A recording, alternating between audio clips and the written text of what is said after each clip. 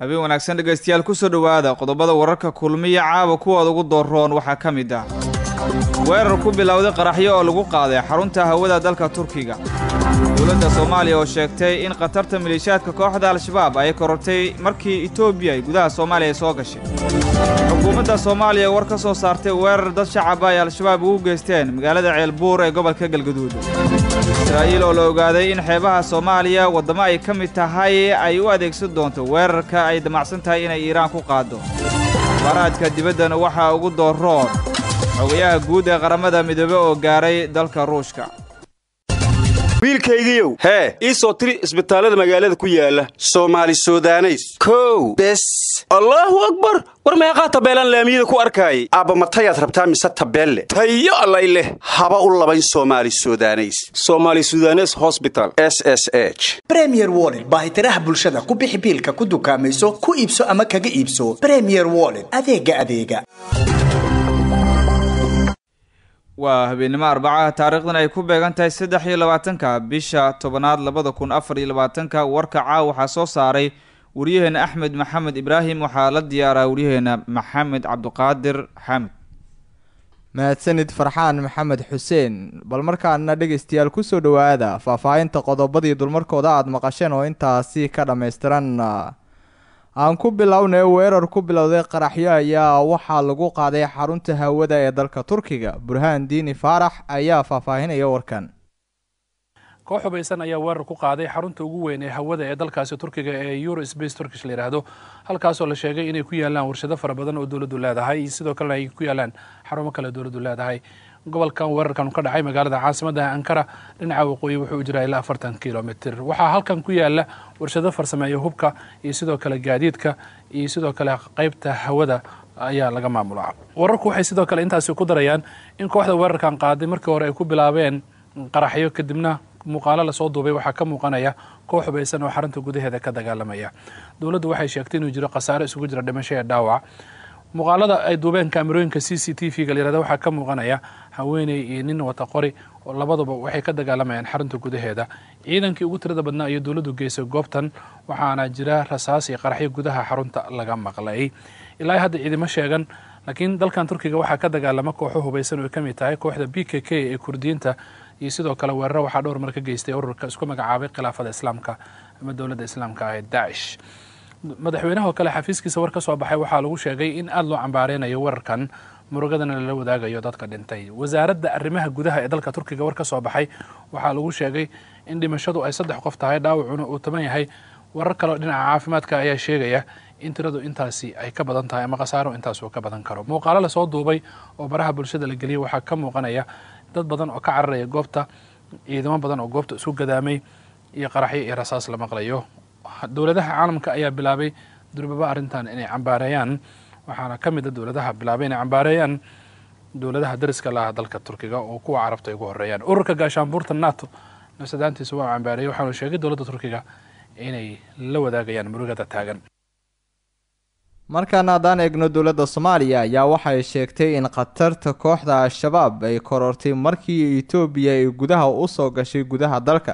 Axmed maxamed ibraahim ayaa inoo faahfaahinaya qoraal ka soo baxay wasaaradda arrimaha dibadda soomaaliya ayaa waxaa lagu sheegay in dowladda federaalk soomaaliya ay mas'uul ka tahay in ay doorato waddamada ka mid noqonaya howlgalka cusub ee ka bilaabanaya soomaaliya sanadka soo aadan ee labada kun shan iyo labaatanka.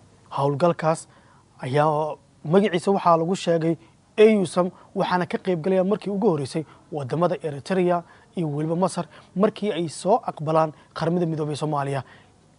Galkoodana iminka waxa uu horyaalaa golaha ammaanka iyo nabadda ee midooda africa dowladda soomaaliya qoraalkeeda ka soo baxay gaar ahaan wasaaradda arrimaha dibadda ayaa waxaa lagu sheegay in dowladda soomaaliya ay mas'uul ka tahay inay doorato cid weliba oo ka mid noqonaysa howlgalkaas howlgalkaas sida muuqata waxaa ka mid noqonaya jabuuti kenya uganda burundi maadaama madaxweynaha dowladda soomaaliya xasan sheekh maxamuud oo maalmihii ugu dambeeyey safaro halkaas uu ku bixiyey wadamadaasi madaxdoodana uu kala hadlayay howlgalkan cusub ha yeeshee dulucda sheekadana waxa ay tahay dowladda soomaaliya waxa ay diiday in mar kale ethoobiya ay ka mid noqoto howlgalkan cusub. Etoobiyana horey waxay u sheegtay inay diyaarisay ciidamadii ka qaybgeli lahaa howlgalka cusub ee soomaaliya ka bilaabanaya sanadka soo aadan ee labaatan shan iyo labaatan.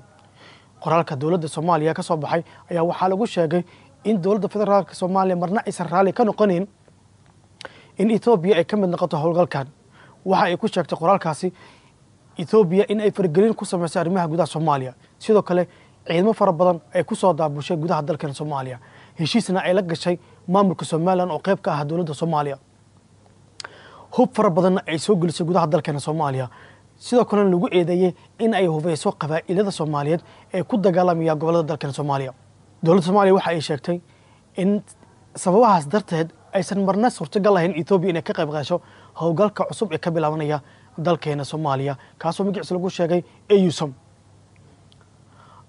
howlgalkaas ayaa waxay sheegtay in waddamada ka qaybgelaya ay dooratay soomaaliya dhowaana ay soo bandhigi doonto. Qoraalka ka soo baxay wasaaradda arrimaha dibadda soomaaliya sidoo kale waxaa lagu sheegay in tan iyo markii ethoobiya ay yimaadeen gudaha dalkeen soomaaliya weliba kuwaan bilaa admiska ah iyo weliba kuwa admiska ah ee ku imaaday howlgalka. Iminka gabagaboonaya sanadka aynu ku guda jirno dabeeqadiisa in ay korortay ama mas'uul ay ku noqotay in ay kordhaan dagaalamayaasha al-shabaab islamarkaana ay ku xoogeystaan gobollada dalkeena soomaaliya. Sidoo kale waxaa la sheegay in markii etoobiya sidoo kale ay yimaadeen koonfurta iyo bartamaha dalkeena soomaaliya ay sidoo kale bateen weerarada al-shabaab ay ka geysanayaan dalkeena soomaaliya. Ha ahaadeen xarumaha dowladda ha ahaadeen xarumaha ciidamada admis ay ku leeyihiin dalkeena soomaaliya. Sababahaas darteed dowladda soomaaliya waxay u cogsatay in etoobiya marnaba aysan ka mid noqon howlgalka ka bilaabanaya dalkeena. Gabagabada qoraalka ka soo baxay dowladda soomaaliya ayaa waxaa lagu sheegay in dowladda soomaaliya ay ka go-an tahay in marnaba etoobiya aysan ka mid noqon howlgalkaasi. Waxaana lagu amray ethoobiya in dabayaaqada sanadkan in dhammaan ciidamadeeda ka jooga dalkeena soomaaliya. Kuwa admiska ka mid ah iyo kuwaana admiska ka mid ahayn in dhammaan ay ka baxaan dalkeena soomaaliya. Mar haddii ay marka hore ay ku joogeen gudaha dalkeena soomaaliya ogolaanshaha dowladda soomaaliya iyo ka qaybgalka howlgalka nabad ilaalinta ee soomaaliya ee admis loo yaqaano. Marka horena amisom ahaan jiray ethoobiya dhowr jeer waxa ay sheegtay islamarkaana ay dalbatay inay ka mid noqoto howlgalka soomaaliya ka bilaabanaya labada kun shan iyo labaatanka horena waxay u sheegeen in qatar weliba haddii ay dareemaan in ay gudaha soomaaliya soo gelayaan bilaa shuruud ah oo aan ayagoo la xiriirin dowladda federaalk soomaaliya balse la tacaamulaya maamulada dalka ka jira. Horena waxaa u sheegay taliyahooda militariga in soomaaliya aysan la dagaalaynin ciidamada etoobiya balse ay la dagaalamayaan sida uu hadalku dhigay saaxiibadooda ku sugan gudaha dalkeena soomaaliya. Markaana dhanka kale dhegeystayaal haddaan eegno dowladda soomaaliya ayaa markii ugu horeysay waxay ka hadashay weerar dhowaan dad shacab ah ugu geysteen xubno ka tirsan dagaalamayaasha al-shabaab fariisimo kooxda ku lahayd magaalada ceelbuur ee gobolka galgaduud. Weerarkaasi ayaa lagu dilay xubno shabaab ah iyadoo dhanka kalena dadkii shacabka ahaa ay ku soo furteen dad rayid ah oo al-shabaab xirteen kuwaas oo ay tilmaameen in sifo aan sax ahayn lagu xiray markii hore. Wasiiru dowlaha wasaaradda gaashaandhigga ee xukuumadda soomaaliya cumar cali cabdi oo ka hadlay weerarkaasi islamarkaasina u waramay warbaahinta dowladda ayaa tilmaamay in shacab iyo dowladba si wada jir ah loola dagaalami doono al-shabaab isagoo dhanka kale sheegay in la isku furay degmooyin ku yaalla gobolka shabeellaha dhexe waxaa laga baacsadaa dhanka hawada oo dowladaha aan saaxiib nahay ay ka baacsadaan ciidanka xoogga dalka soomaaliyeed waxa uu ka baacsadaa dhanka beriga badda meel kasto qurku jirta.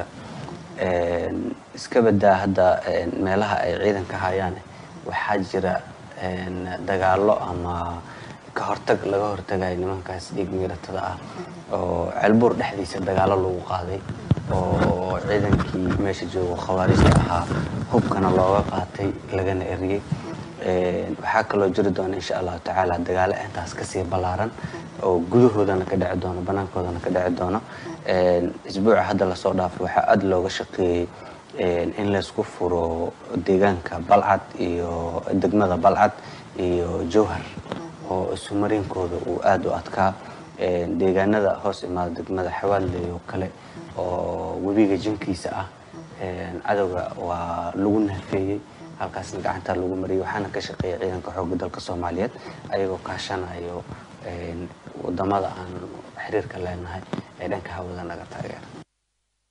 Dagaalka ka dhanka ah kooxda al-shabaab ayaa muddooyinkii la soo dhaafay waxa uu si xoogli ah uga soconayay gobollada dalka si gaar ah galgaduud iyo sidoo kale qeybo ka tirsan maamulka hirshabelle tan iyo markii dagaal shacabka qeyb ka yihiin kana dhana al-shabaab ka bilowday gobolka hiiraan. Waxaa dhanka kale kordhay tirada ciidamada ku biiraya dadka deegaanka kuwaas oo ka barbar dagaalamaya ciidamada dowladda soomaaliya. Dhinaca kalena dhegeystayaal haddaan markaan eegno israa'iil ayaa waxaa la ogaaday in xeebaha wadamo soomaaliya ay ka mid tahay ay u adeegsan doonto weeraro ay la damacsan tahay iiraan. Maslax abuukar xaaji ayaa warkan nairobi ka soo diray xogo sirdoon oo laga helay dhowaan sirdoonka maamulka israa'iil ee la xidhiira weerarkooda xukuumadda teheraan ayaa maalinba maalinta ka dambaysa warbaahinta ay siyaabo kala duwan u qaadaadhigayaan inta badan warbaahinta ugu afka dheer bariga dhexe ayaa waxay ciwaano ka dhigeen halkee ayay u mari doonaan israa'iil si ay weeraro xooggan uga fuliyaan. Caasimadda teheraan iyo weliba magaalooyin kale oo dalka iiraan ka tirsan xilli hanjabaadaha maamulka israa'iil mas'uuliyiintooda aad ay u sii kordhayaan.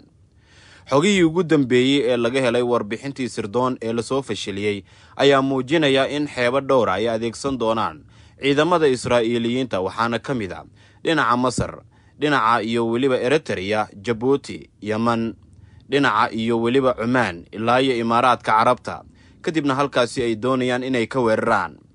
Xeebahan intooda badan waxay adeegsadeen xiliyadii ay yahuuddu ka fulinaysay weerarada. Magaalooyin ku yaalla dalka yeman haddana waxay doonayaan in iiraan halkaasi ay ka weeraraan. Iiraan dhinacooda waxa ay si weyn ugu diyaar garoobeen dhammaan weerarada ay qorsheynayaan maamulka israa'iil iyaga oo sheegay inaysan gacmaha laaban doonin haddii la ysku dayo in dalkooda la soo weeraro. Xaaladda bariga dhexe oo aad u cakiran waxaa muuqata in dhinaca israa'iil culaysyo waaweyn xilligan ay wajahayaan waxaana la xaqiijiyey in maalin walba laba boqol iyo konton milyan oo dollarka maraykanka israa'iil ay ku khasaarto dagaalka ay kula jirto kooxaha islaamiyiinta ee ku kala sugan lubnaan khaza iyo weliba yeman iyo weliba iiraan gudaheeda. Sida muuqata waxaa haatan la warinayaa in israa'iil xaalad adag ay wajahayso dhowaanna ay markii ugu horreysay codsan doonto kab miisaaniyadeed ay dowladda maraykanka ka hesho dhinaca kale waxaa qalqal gashay diyaarad siday antony blinken oo ka mid a mas'uuliyiinta ugu miisaanka culus dalka maraykanka kaasi oo markii koob iyo tobnaad ka degay israa'il tan iyo markii dagaalka khaza uu qarxay oo muddo ka badan sanad dagaalkaasi uu socdo. Waxaa la sheegay sababta diyaaraddan qalqalka ay u dareentay inay ugu weyn tahay cabsi laga qabay in weeraro gantaalla ah ay ka yimaadaan kooxaha islaamiyiinta islamarkaana ay la eegtaan diyaaradda antony blinken uu saarnaa inta aysan diyaaradda degin qalabka ka hortaga ama sheega digniinaha in weerar uu soo socdo ayaa la wariyey in qayladooda la maqlay. Sidaa daraaddeedna diyaaradda ay ka baaqsatay in si deg deg ah ay u degto. Waxaa dhowr jeer oo qalabkaasi uu qayliyey. Diyaaradda baylootyadii waday ay ku qasbanaadeen in jihadii ay u socdeen ay beddelaan oo jiho kale ay aadaan. Markii dambese si nabadgelyo ah ayay ku dejiyeen. Tani oo muujinaysa welwelka iyo cabsida israa'iil mas'uuliyiinteeda iyo guud ahaanba kuwa reer galbeedka cabsida ay ka qabaan in mar walba lagu beegsan karo gudaha deegaanada ay maamulaan yahuudda ee dhulka falastiiniyiinta. Maslax abuukar xaaji k n n nairobi. Halka warkaasi habeen aad ka dhagaysanaysaan waa warbaahinta kulmiye ee muqdisho bal markaana akhbaaraadka dibadda xogayaha guud ee qaramada midoobay antonio gateres ayaa gaaray ruushka halkaas oo uu kaga qeybgeli doono shir madaxeedka dalalka brekis ee uu martigelinayo madaxweynaha dalka ruushka valadimir putin.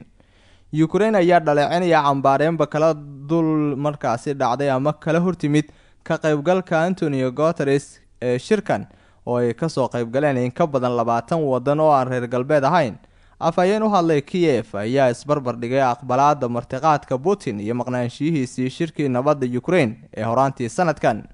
Guud ahaan dhegeystayaal waa inaga intaa warkii habeen ee k